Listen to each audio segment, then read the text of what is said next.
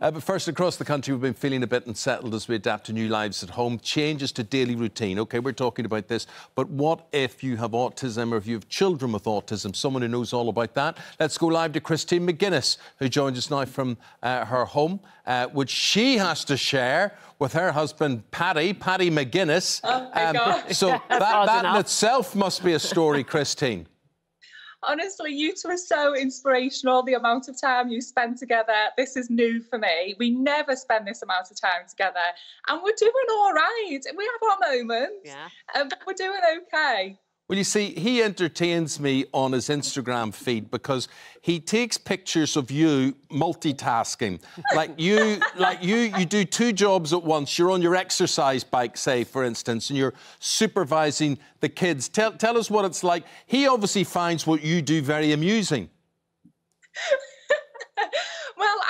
that's just, you know, being a woman. We are experts at multitasking. Right now, I've, I've become a teacher this week. Yeah. I'm usually a taxi, a mom. I'm, I'm cooking at home more than ever. You know, I think that's what we're good at. So, yeah, I use back time. Yeah to get on my bike. But, but Christine, so many parents are doing that, of course, and they're homeschooling, and it's really uh, not very easy. But for you, your three children, Leo, Penelope, and Felicity, all have autism. So, and we know that that uh, children, people with autism, they don't cope well with change. They like routine. So, how challenging is this becoming for you? It's really, really difficult. And honestly, online, we're trying to keep it really positive and fun. Um, but at home, we are struggling. This has been so difficult this week, trying to explain to the children that we've got to stay indoors and we can't go out when we've spent years and years encouraging our children to go to places and to go out at the weekend.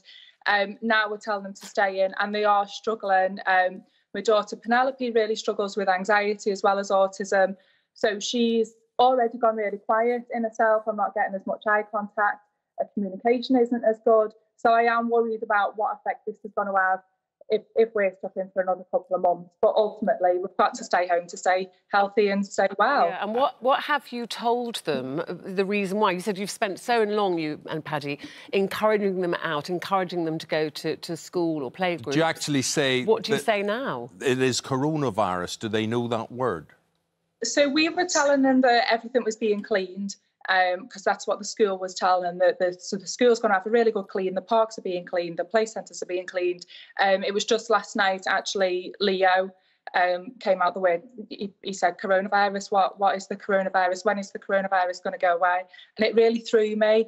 Um, and I just tried to keep it really simple, pick out the important bits again, explain to them coronavirus is is something that's affecting a lot of people and we need to stay away from it. So that's why we're staying home, um, explaining to them that everything will be safe again and one day we will be able to go back out, but right now everything's being cleaned. Um, he said that uh, another child at school had mentioned it to him last week. And um, and then he saw an advert somewhere. So we just need to be aware as well how much we've got the news on at the minute. Yeah. Um, you know, remembering that the children are listening and watching and probably picking up on on more than what we would like them to.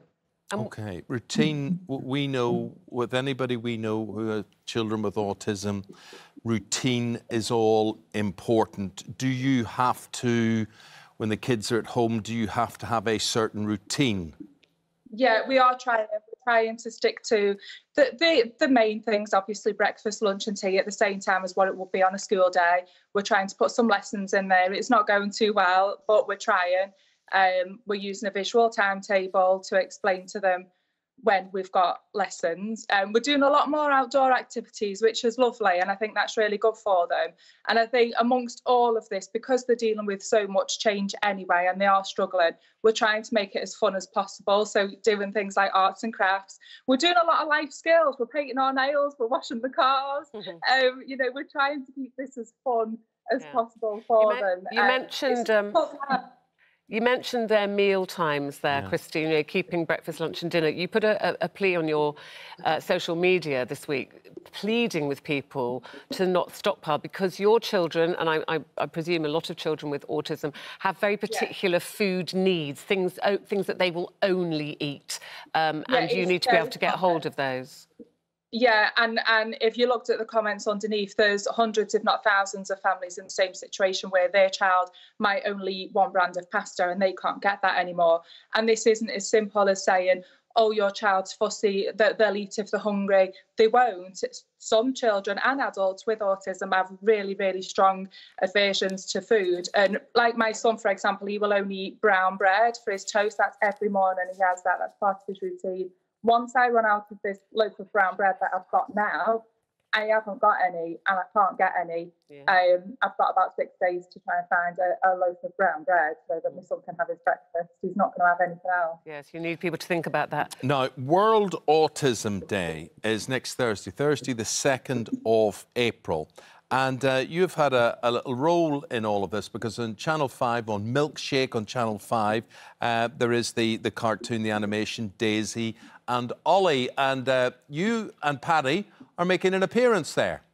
I was so proud of this. Honestly, it's this is a really fun family way. It's a it's a child friendly way to introduce an autistic character um, that hopefully will help a lot of others understand a little bit about autism. Um, it's done in a really sensitive, fun way. And um, yeah, I can't wait for everyone to see it. Oh, that's nice. Well, anything that helps raise awareness, Christine, which you are so good at doing, because we know how busy you are um, with the children and, and, your work as well. Um, listen, stay safe, all of you. Here, but before you go, before you go, I, I just couldn't take my eyes off your balloons. What, what's, what's the occasion? What's the occasion there? What is um, big heart-shaped so... balloons? They were for Mother's Day. Listen, my husband is not romantic. Don't be fooled. It was Mother's Day. He got ah, me some. Ah. I thought it might have been your birthday or something. That's that's. Where, where is he? he's he's downstairs. Hopefully, he's doing a PE class in the garden with the children whilst I'm away. Ah. Yeah, I think. Good Great luck stuff. with that. Great stuff. Uh, send him our love. Uh, love to the kids, and you, of course, stay well, darling, won't you? Thank you, and you too. Bye, Thank you, Christine. Bye. Thank you very much indeed.